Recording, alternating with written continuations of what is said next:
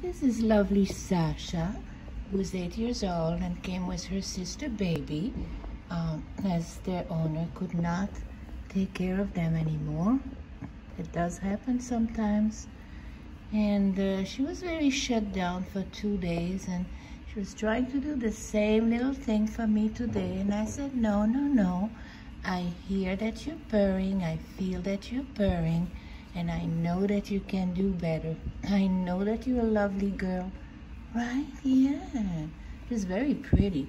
Uh, both her and her sister look alike. I guess they are twins. Uh, her sister is a little darker, but this one is very, very, very sweet and coming along. Come here, my love. Come here, princess.